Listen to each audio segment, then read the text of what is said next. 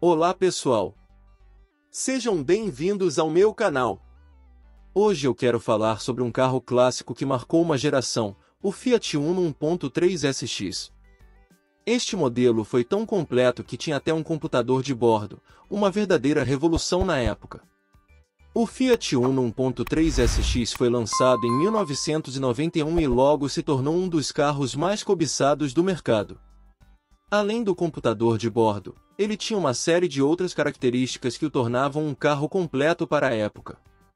O modelo SX tinha ar-condicionado, vidros elétricos, travas elétricas e até mesmo direção hidráulica, algo que era muito raro naquele tempo.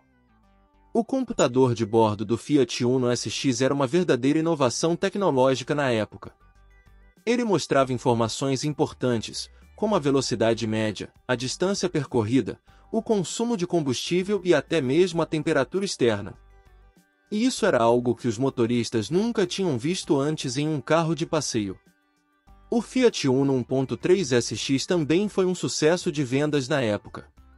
O modelo conquistou os consumidores brasileiros com sua combinação única de design, conforto e tecnologia.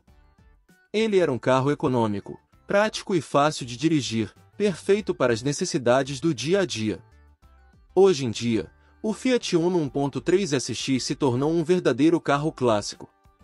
Encontrar um modelo em bom estado é um desafio, mas se você tiver a oportunidade de dirigir um, certamente irá apreciar todas as suas características, Espero que este vídeo tenha sido útil para vocês. Se você gostou deste conteúdo, não se esqueça de se inscrever e deixar um like e compartilhar com seus amigos. E se você tem alguma experiência com o Fiat Uno 1.3 SX ou outros carros clássicos, não deixe de compartilhar nos comentários abaixo. Até a próxima!